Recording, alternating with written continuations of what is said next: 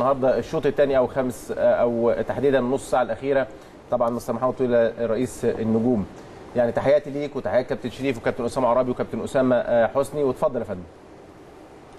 أهلا كابتن سيد تحياتي ليك ولأسرة ضيوفك الكرام جميعا. أهلا وسهلا. آه لا طبعا آه نتيجة مخيبة للأمال جدا. ولكن خليني بمنتهى الموضوعية ألخص لك آه القصة كلها في كلمتين. آفة الكرة المصرية. هي آفة الكرة المصرية. إحنا لعبنا آه، المباراتين الأولانيين فقدمنا كرة كويسة وتعادلنا مع الإنتاج الحربي ثم تعادلنا مع سموحة وكدنا نفوز في آخر خمس دقائق فركب الغرور والاستهتار اللعيبة في المباراة اللي بعد كده اللي هي مع المقاولين. وكانت من وجهة نظري الشخصية أسهل مباراة. فخسرناها نفس الشيء لعبنا مباراة قوية جدا مع الإسماعيلي ومباراة قوية جدا مع الزمالك وفزنا. مباراة قوية مع الإسماعيلي وتعادلنا وكان لنا ضربتين جزاء وكدنا إن إحنا برضو نحقق الانتصار ولكن آفة الكرة المصرية. الغرور الاستهتار آه، غلطة مني أنا كرئيس نادي إن وافقت المدير الفني إنه طلب أجازة خمس أيام. على فترة اجازة و- وأخطأت خطأ كبير أنا بعترف بيه. سمحت له. وصدر للعيبة إن المسألة سهلة.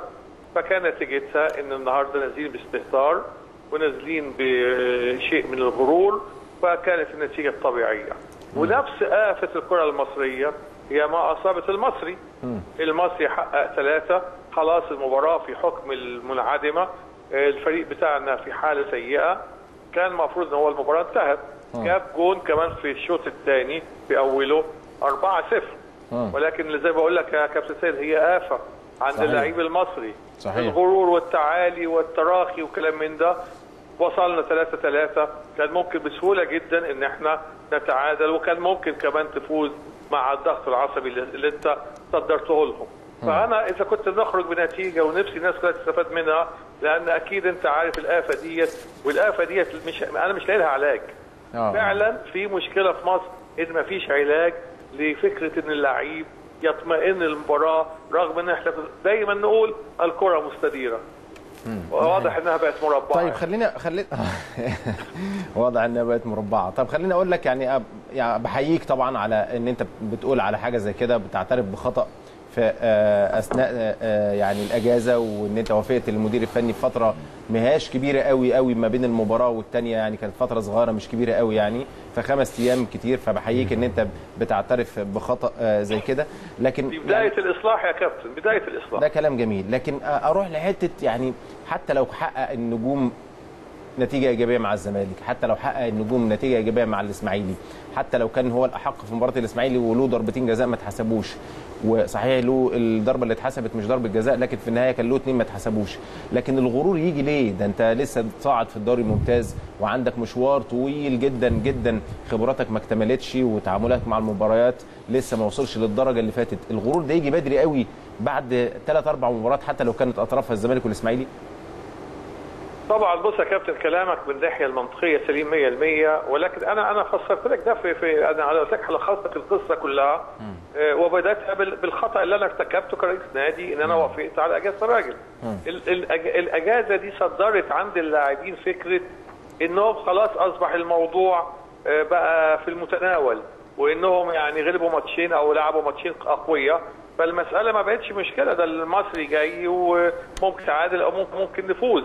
وعشان كده بقول لك هي الآفة اللي في الكرة المصرية. أنا أنا صدرت لهم فكرة إن الماتش إن الدنيا سهلة علما بالآتي. علميا المدرب جديد المدرب ما خدش فترة إعداد مع الفريق جات لك هدية من السماء ربنا بعت لك هدية 11 يوم فرق بين مباراة الإسماعيلي استغلهم صح؟ والمباراة بتاعت النهارده.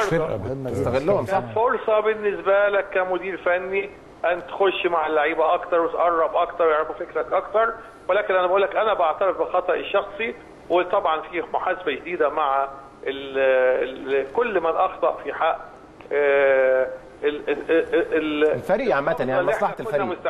مصلحة الفريق. طب خليني أقول لك أنت نفس السياسة اللي, اللي ماشي بها النجوم النجوم في الفترة اللي جاية ولا هيبقى في تدعيم في شهر يناير وبدأتوا تتكلموا مع بعض الناس؟ عليك.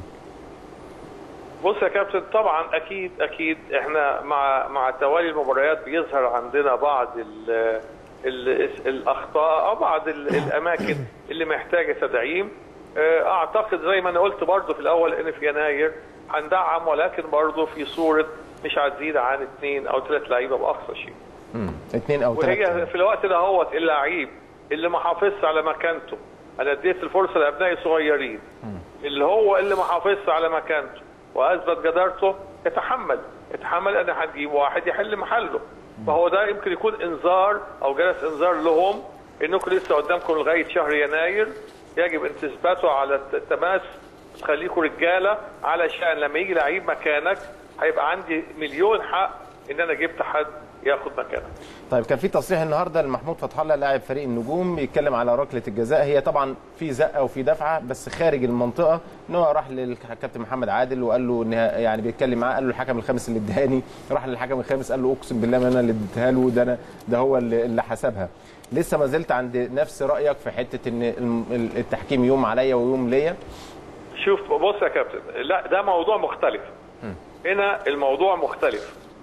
المرة الأولى أنا قلت فعلا إن زي ما بنستفاد من أخطاء زي ما بي بي بي بي بي بي بنعاني من أخطاء.